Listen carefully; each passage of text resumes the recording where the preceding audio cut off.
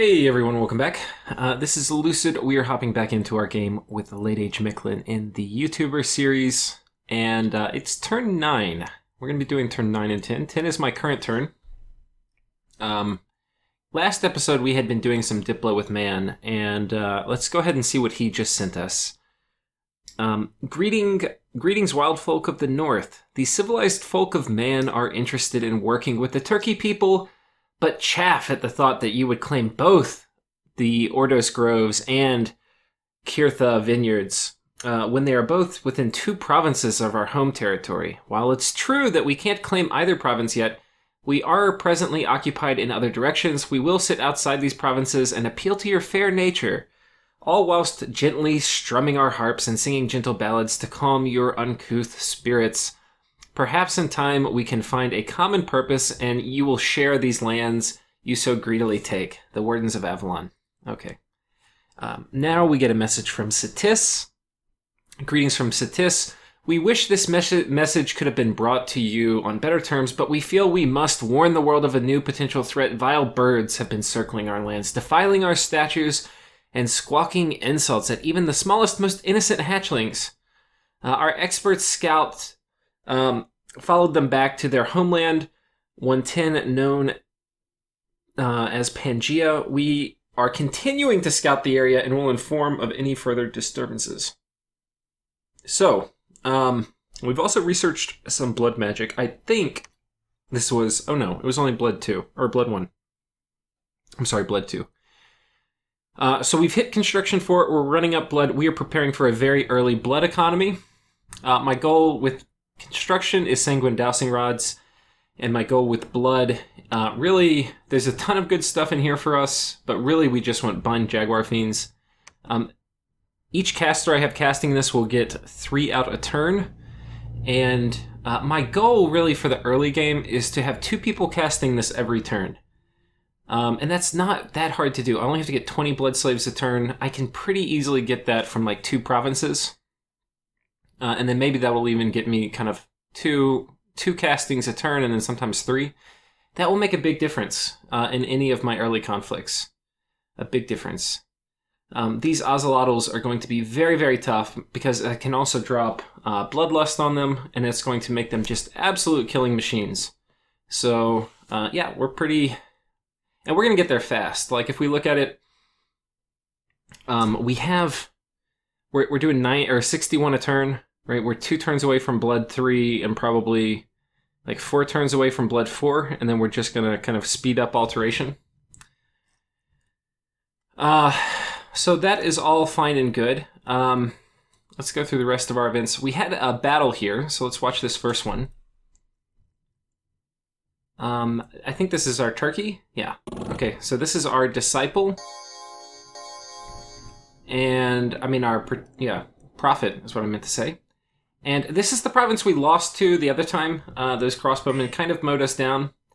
Uh, but in this case, you can see uh, we kind of closed with the crossbows, and naked archers are not that scary. It's really, there were some heavy infantry it took us a few turns to chew through, and this will not be a problem.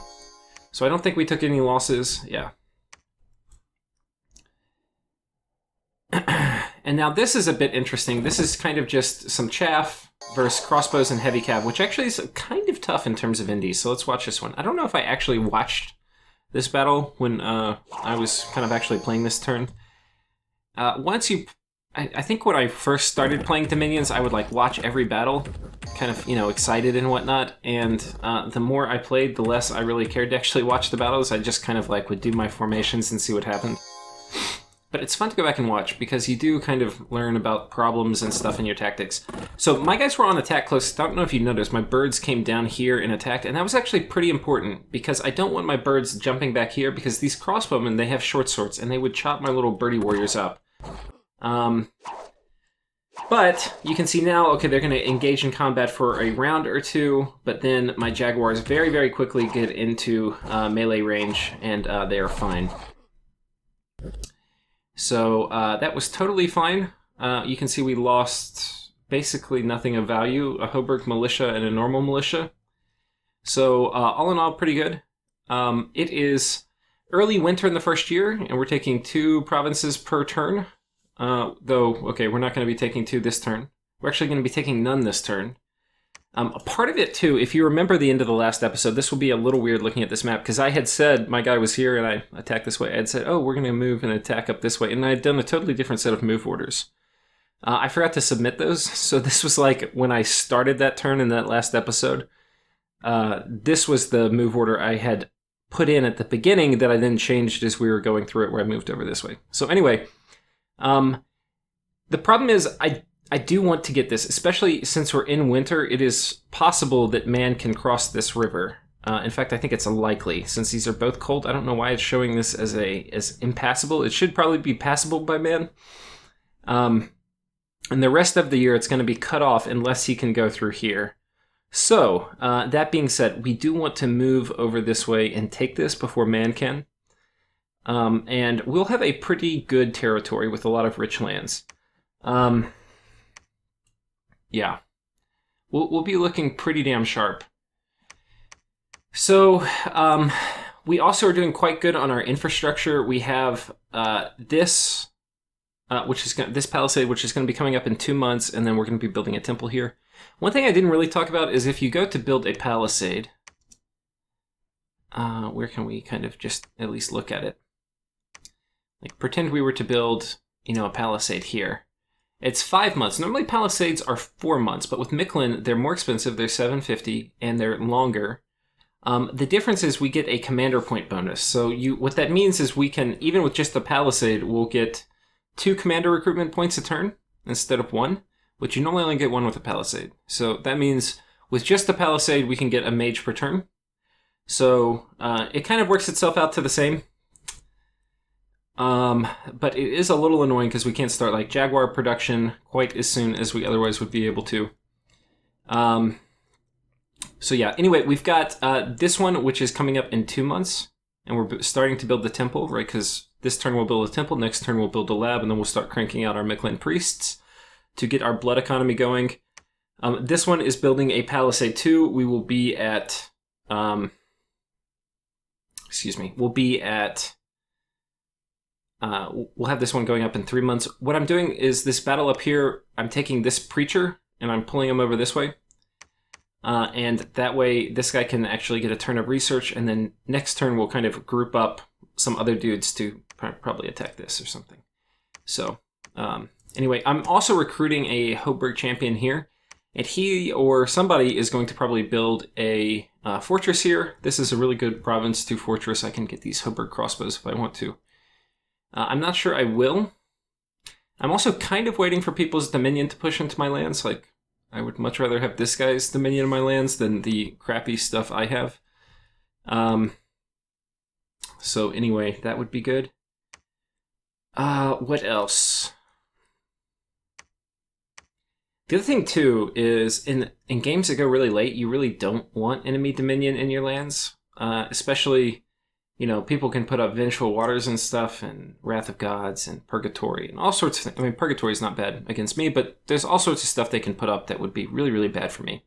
Uh, but fortunately, because this game is not going to go that late, since we have um, the uh, the horrors coming at turn 40, uh, I'm not really worried about that. So we are going to do zero Dom pushing, or not zero, but pretty freaking close. Probably keep it in like two or three provinces. Um, for those of you drinking with this episode, I have a White Russian. Um, if you are mixing one up, also please uh, please comment below. Uh, anyway, okay, so uh, we are building a new palisade here. So this is going to give us three, and the next turn or the turn after, we'll build a palisade here, which will give us four. I may not be able to build this one next turn in this province because I'm going to need to build a temple here as well as a lab here. That's going to cost a lot of money. But then the turn after, I probably will be able to start construction. And what I expect is we should be able to get five Jaguars per province out of each of these. Um, so between just three forts, that will be 15 a turn. Uh, very shortly thereafter, I will have my Aussie factory going, which will be giving me like six of the Aussies a turn, and then plus my capital is going to be making like five or six, probably like six flyers. So we're going to be making like 12 flyers a turn, 15 ground troops a turn, And uh, yeah, I may do another batch of Water Warriors.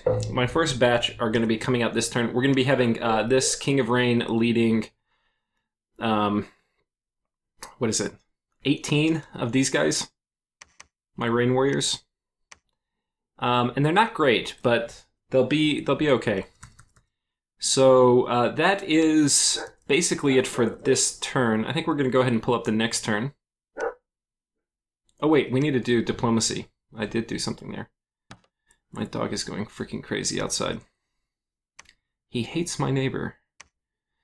Okay, so uh, I I'm kind of trying to do a fair bit of Diplo here, and Diplo is going to be important. Um, I'm not super worried about getting ganged up on, but I'm a little worried. I think some of you in chat are probably a little more worried than I am. One of the things, and it actually bears um, mention, is that unless you have kind of like a really hard counter next to you, um, getting ganged up on is not always bad. Uh, what you can usually do is you figure out which of the players kind of match up you're weakest against. And you can do some crafty things uh, just defending that border using a fair amount of PD backed up by some sacreds and mages. Um, and just basically kind of efficiently hold down a border. And then sometimes like just tinker raid out past it. And then somebody who you're strong against, you can uh, basically take a lot of their land. So basically, if like three people attacked me, one of them I would probably be doing pretty good against. And so even if I like lose land or I you know suffer losses over here, a lot of times it can be made up for by uh, taking advantage of a weaker player. So if you're setting up like a you know people grouping up on one person, you do want to make sure that uh, there's not anybody who's abnormally weak, especially to that playstyle. Like I would just wreck Gam Herdings especially until Skeletspam Communions come out. So Utgard could be a good target. Um, if this guy is relying on Black Templar to expand, which it looks like he is, um, he would be an excellent, excellent target. I mean, excellent. Um, my guys will just crush heavy cav knights. So, um, yeah, I'm not too worried. Pangaea actually is probably most scary. I think his guys have enough HP they could probably survive one hit. And uh, throwing javelins is not very nice. Man, if he were to mass, I'm not really scared of the wardens. He can't mass wardens, but uh, if he has enough of the longbowmen, those will really chew me up.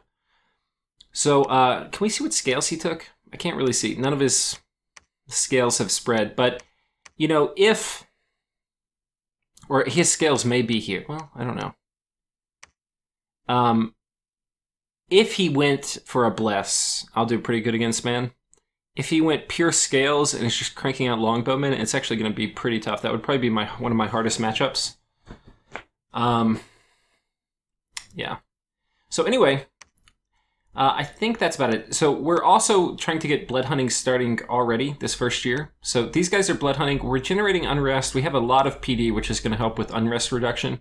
Some people don't know, but uh, cranking up PD, it's going to help patrol and catch scouts. It's also going to reduce unrest. We're not patrolling yet. We need to. So uh, to do this, I'm going to bring a bunch of slaves down here that I've, I've kind of generated in my cap.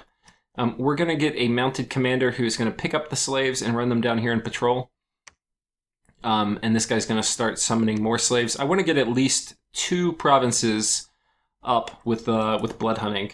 Uh, this will probably be one of them. I can probably do three or four blood hunters here. Uh, I also wait. Did I already do 420? Okay, I did, and I didn't run it out. Actually, that was kind of a problem.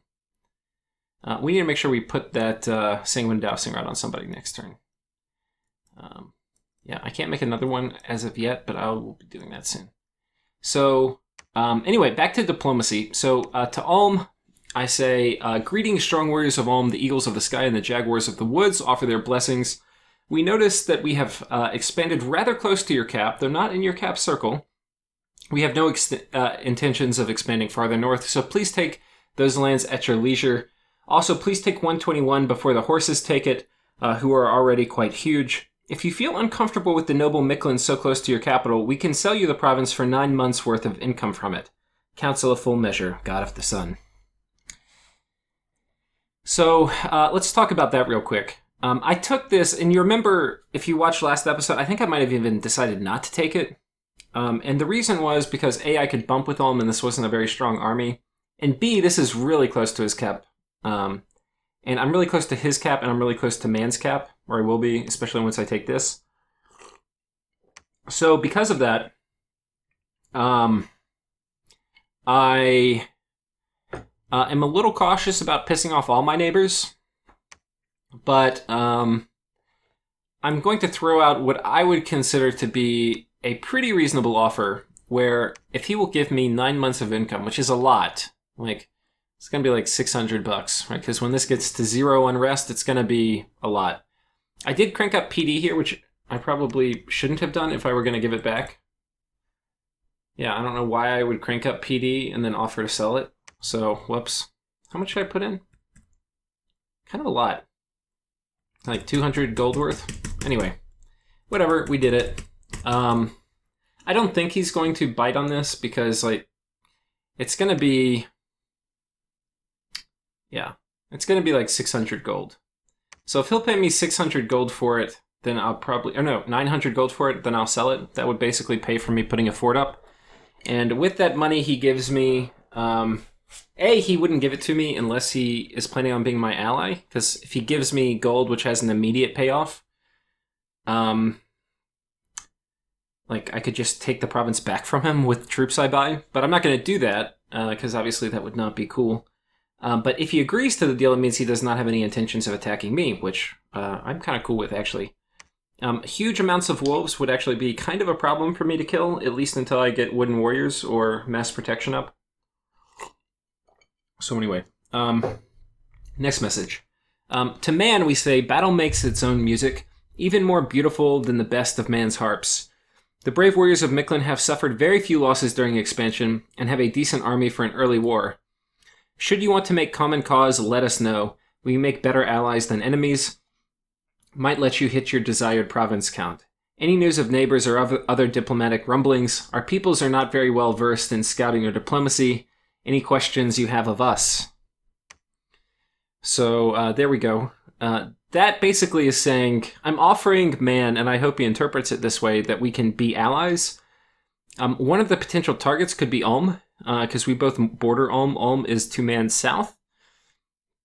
Uh, the other target potentially he can't really go after Utgard, and I don't know how much. I think Pangaea will border man over here, so we could potentially go after Ulm or Pangaea together. Um, I could also fight man. I've thought about that. Uh, especially once you get flyers, they're kind of okay against archers uh, until he gets storm or other things that will counter them. So I don't know. I'm a little agnostic in terms of diplomacy on this. I don't really want to have four people fight me at once, but as long as it's like 2v1 or something like that, I'm probably fine. Um, and if I have one ally out of my neighbors, then it's not going to be too asymmetrical. Like if Man and I attack somebody else, and like that person finds an ally and they both attack me, that's not really that asymmetrical. It's kind of like 2v2. I can totally handle that with Mictlan, I think. Depending on unit composition. Um, from Pythium, greetings, snake people. Since we do not share a border, we make natural allies. Please keep us informed of your diplomatic situation, since perhaps we can lend you a hand, and maybe you us, should we find ourselves attacked. How did your early game go? And to C'Tis, uh, you'll find the best protection from harpies who rely on killing unscripted PD commanders for raiding. Uh, is a decent amount of PD, not too much, like 10, plus one recruited indie commander with three guys on guard commander. That way the birds will get tied up on your recruited commander uh, when the PD kill while the PD kills them, and if they do manage to snipe the PD commander, the PD won't rout with yours there. Uh, we have no idea, or we have no love for Pangaea and might be able to offer some help. What are his scales? Does he have a bless? So I'm asking for some intel. I'm also giving him some uh, tips for fighting harpies. Harpies are really annoying. They're a very low commitment uh, raiding squad. So, um, you know, if they die, Pangaea doesn't really care. They can recruit them in wood provinces, I believe. Um, so very annoying to fight against. What um, the easiest way to prevent against harpy raids is you just the problem with PD is all the guys are going to run forward, and then if the Harpies successfully do an attack rear, they can just kill the commanders, and then you lose. Um, unfortunately, the, the the PD will still usually kill a lot of harpies because they'll harpies will try to attack them as they retreat. Um, the way to prevent all this is you just have one commander stationed in your province. I'll kind of show you what it would look like. Like if I were to do it here, um, let's just say this was my commander, this eagle. Um, your PD is going to form up as a block in the middle. You just put your commander out here, which will be about where the harpies move to if they do hold and attack rear. And you put these guys on like guard commander, and then they'll just be like around your commander. And you can do this with just like, you know, a normal indie commander with four of these light infantry or militia. And that will normally be enough. And what will happen is uh, the PD will kind of run forward, the commander will get exposed, the Harpies attack, lots of times they'll kill the commander. Um, then the PD will run an attack and kill them while your commander's still alive. And uh, yeah, it's pretty pretty legit. It depends, obviously, how big the Harpy squads are, but basically you can counter that by just adding more PD.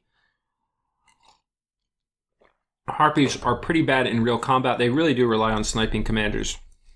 Um, yeah. So anyway, uh, that's it for this turn. Let's pull up the next one. This is my current turn, so if we have any brilliant ideas while I'm uh, talking to you, we can of course implement those. Uh, a message from home. Greetings, Mictlan. We trust um, we find you well. Now that we are neighbors, we expect to respect. We expect you to respect our borders and know we lay claim to Dark Wisteria. Which one is that? Yeah, okay, that's fine. Um,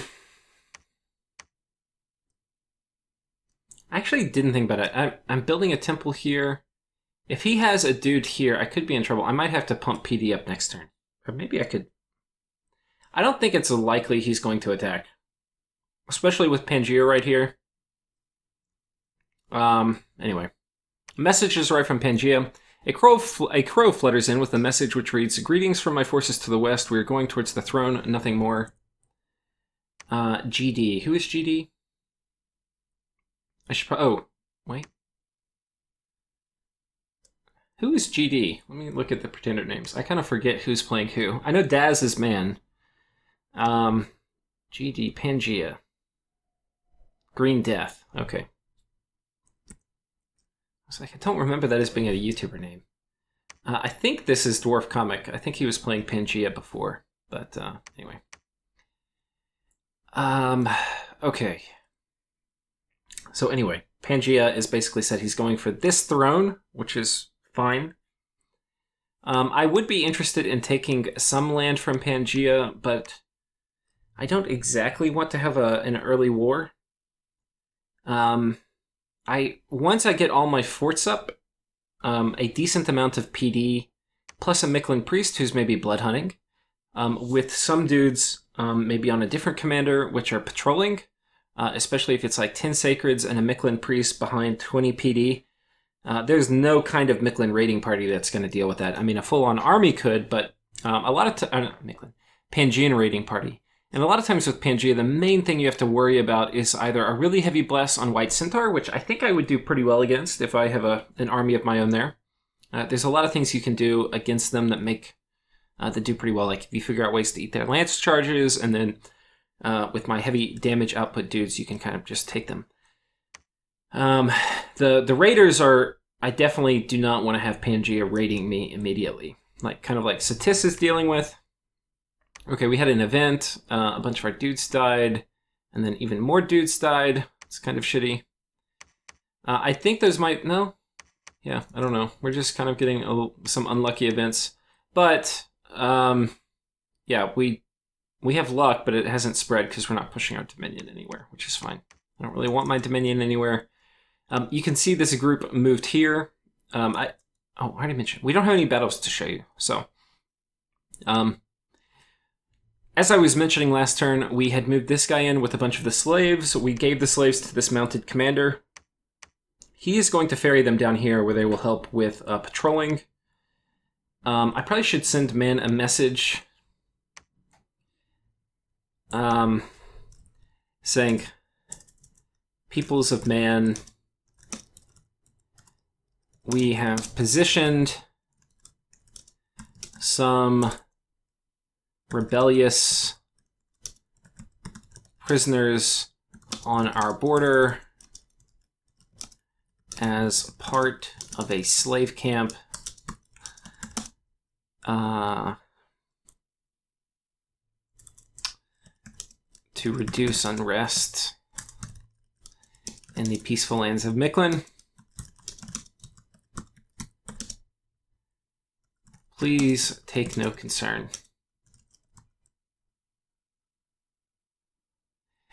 Um, yeah, I think that's all I'm going to say.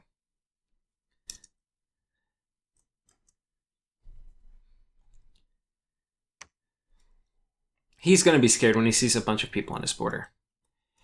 Um, we are going to okay so this we're going to go attack this. Now this province is a bunch of light infantry crossbowmen and heavy infantry. This is the same kind of thing that actually caused me a bunch of trouble which actually you know looking at it why am i not taking some slaves? Because i need some people to kind of eat the crossbow stuff. Yeah we're going to take some of the slaves Um, I don't know how much of the crossbow fire they will eat, but hopefully they will eat some of it. And if they don't eat any of it, then um, they'll at least run into melee with the crossbows. Uh, I think this is fine. This is kind of enough of the Jaguar Warriors where I think the crossbow fire will get spread out amongst them too. I don't know. We're This is a little dicey. The other thing we're doing is we picked up some more Hoburg in this province. We've got some more Sacreds. They're basically running down here, and then we're going to combine forces and attack here. So that's going to happen. Um, the other thing we're doing is you can see we finally got uh, these guys who are going to run out and make their way into the lake system. Um, I will fight whoever's in the lake. I'm going to fight for the lake. Um, I don't care who thinks they have gotten their dudes in here. Utgard cannot really do it unless they have a special province. Ulm can't really do it. I don't know who else is up here. In terms of other nations who can get into the lake system, C'Tis can with undead, but not really immediately. They kind of I don't think they they have any way of immediately jumping in the lake. They they kind of it would be tricky, but they, they it's a mid game thing they can do, not in an early game. Um, Pythium can't. Um, Daz cannot. Ulm cannot. Uh, I can. Pythium can't. Pangea cannot. Um, Midgard can't, and neither can Utgard. So I'm really the only one set up to get in there. So if somebody found Mercs or Indies or whatever, I will fight them tooth and nail, and I'm going to have this whole lake system. So anyway, that's how that's going to be. Now, the thing is, to get in there, we have to get through these um, Jaguar Tribe Slingers, which normally you would say, okay, these guys suck. The problem is, is they do not suck against my units. These guys actually suck in some ways. Uh, we have a Bronze Cuirass, which means uh, any of the slings which hit our chest will be fine against, but we have no helmet. Um, and our base natural protection is low. So basically, slings that hit our heads will do a lot of damage. Uh, and our luck, which is our defensive part of our bless, is good against elites, but it is not good against massed units, which are going to be throwing rocks at us. So uh, we have to deal with that somehow. How we're going to deal with it is making more militia. We're going to pick up these militia next turn. We're going to add them here, and then we're going to charge them in. That's going to be part one. Um, part two is we're running in with some bla- uh, blood slaves, and these guys we are going to basically be doing uh, divine blessing and then summon imps. And uh, we only have blood one, or no, we have blood two. Okay, so we can get a lot of imps off actually. And we will flood them with imps, and then that will break us into the water. Uh, once we're in the water, we do not have to worry about uh, ranged attacks. Um, and these guys will do much better in combat. But it could be tricky. Um, yeah, I don't know. If there is like a 70 or 80 person army here, I'm going to be kind of in trouble. I don't know what I'm going to do. But we'll figure that out. Um, first mission is just to take this. Um, yeah. So anyway, that is that. Uh, we're building a lab here so I can potentially also get more slaves to go onto him this turn if I need to. Um, okay, we're attacking these guys. We've got the slaves. We're good to go here. Um, these guys are moving in. Uh, we are not going to build a palisade. This guy is just going to wait. Hopefully next turn we can start. Um, yeah, anyway, that's fine. Then what else? We've got... I think that's about it for this particular turn. Um, yeah, I think so. Uh, in terms of recruitment, we're now switching over to Eagle Warriors. We're going to be getting. I have basically been making Mictlan priests out of here, with that one exception of the Rain King. And the reason is because I need to save all of my early game money to get my infrastructure up absolutely as fast as possible in case I get rushed um, or people team up against me. I want to get these forts and temples out and labs out uh, as soon as I can to get my blood economy going. Uh, not even really research economy, blood economy. Um, as soon as I get blood four, uh, yeah, things are really going to take off. And then I really only have one other research goal uh, for this game, and that is Alt 7. There are other things that will be useful, but by far and away, this is the big one for me. Uh, you know, I have fire resistance built in my Bless. If I drop mass protection on my dudes, uh, stuff is going to go crazy. So, um, yeah, we're getting this guy so we can start nature site searching because I'm going to want nature gems.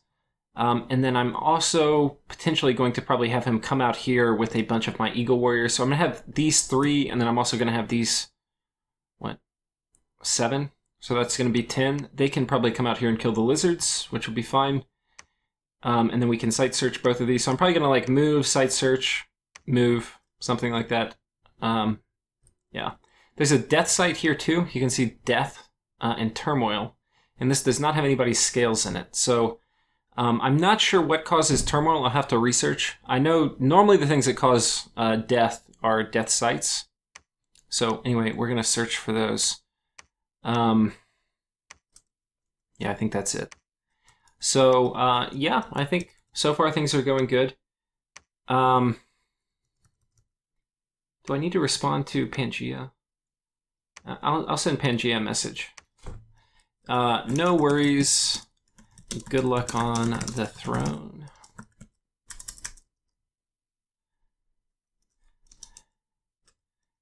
Uh, have you seen anyone's bless? Let's see if we can pry some information out of him. Um, one of the things I'm bad at is scouting. I don't have tons of scouts everywhere. One of the things I'm typically good at is soliciting information from players without scouts. So anyway, we'll see. Hopefully they tell me something that's useful. Um, I think that's it. Do we want to get... We, we do have some additional resources and recruitment points, which, you know, I could turn into Jaguar Warriors. These guys take way more recruitment points in my Eagle Warriors. They take like twice as many. I think I want Eagle Warriors here though. Yeah. Um, so in terms of, uh, we're going to spend a little bit of time talking about recruitment real quick. Um, this I can do, I can get my astral site searching going. I don't know how important this is going to be. Um, in a, in a late game where I'm going to be doing horror spam and things like this, this could be very important. Um, if we look at horrors, I think they're hard like lesser horrors, which is what these guys would cast. They're um Oh, they're only blood five. Crap. And I'm already going to blood four. Ooh, man. I love send horror. We may make an exception. We may I have to I'm gonna have to seriously wait. What else is at blood five for me?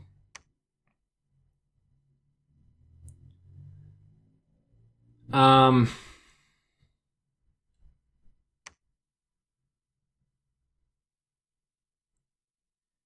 okay, I cannot remember which one of these is the assassin. If this one is the assassin, which I think it is, I may have to go to Blood 5 before I run up Alteration. Um, I'm not going to be recruiting many of these guys, but really having access to Send Lesser Horror, and all I'm going to need is... Oh, crap. Okay, so to get Send Lesser Horror online, this guy is um, Blood 2, Astral 2. I need to be at Astral 3, so I need one of the Astral boosters. Now, how am I going to get that? That's going to be tricky. Um, if I get to construction six, I can make the skull cap. Um, but I'm not going to go to construction six. Um, alternatively, I have to have Earth Astral to get that, and I don't have it on my Pretender, um, and I don't have it on any mages. So there's basically no way that's going to happen. I could trade for it. Um, Man won't have it. Pangaea, I think a late age Pangaea might have Earth Astral. I can ask him. But people are probably not going to want to forge me boosters. I don't know. Ulm definitely has it. Maybe Ulm. Um, I'm going to send a message to Ulm too. Uh, greetings again, strong warriors of Ulm. Uh, perhaps we can trade. Um, are you running up construction early? And if so, how far? We have the need of an astral booster. If that might be something you can produce. Crystal coin or Starshine Skullcap. Any uh, any other news? Okay, so anyway, that is probably okay. Um, this is getting to be a long episode, sorry guys, but you were. It's kind of fun uh, going through this when you haven't submitted it because you can kind of change things. So uh, anyway, that's basically it. We're going to be coming this way. We're going to be using Bind Imps to take this and then praying to God. This is a weak water province. Once we get in here, we have two options, so hopefully we can find a way to kind of finagle our way through. Um, we're probably going to be hopefully, whatever there is here, we're going to recruit as many of them as we can and then join them up to make one mass. I do not want to make another group of Rain Warriors terribly soon from my capital. Maybe I should, uh, but I'm not really planning on it. Um, once I get underwater, though, um, I can build, I believe, forts, and with those forts, I can recruit uh, my water mages, which are going to establish dominance underwater, uh, especially if I run up conjuration. Uh, there's not too much I can do underwater with blood or construction, so I, I, would have to make a decision here. One of the reasons to go up Conjuration is to get Summon Jaguars, which is a pretty awesome spell. It's very, very mage turn efficient. You get 17 Sacred Jaguars for one mage turn. It will require a lot of nature gems, but we'll make a decision. If we find a lot of nature sites in this jungle, it's going to make going up construction more and more valuable. Uh, and then if we feel threatened in the water, it's going to also make uh, Conjuration more and more valuable. But uh, anyway, uh, I think that's it for this turn and for this episode. I thank you guys for watching, and I'm going to remember to actually submit my turn uh, again now that we've made changes, whereas I forgot to uh, last time. So anyway, hope you're enjoying the series. And I actually, I, I myself, you know, it's funny because I subscribe to a lot of these players anyway uh, to kind of watch their YouTube streams. So it's really funny because I see their episodes popping up on my feed, and I'm like, oh shit, I really want to watch that. And I'm like, oh wait, but I can't. But I can't. But uh, anyway, I hope you're enjoying watching mine, and I'm certainly looking forward to watching everyone else's. So uh, thank you guys. See you next time.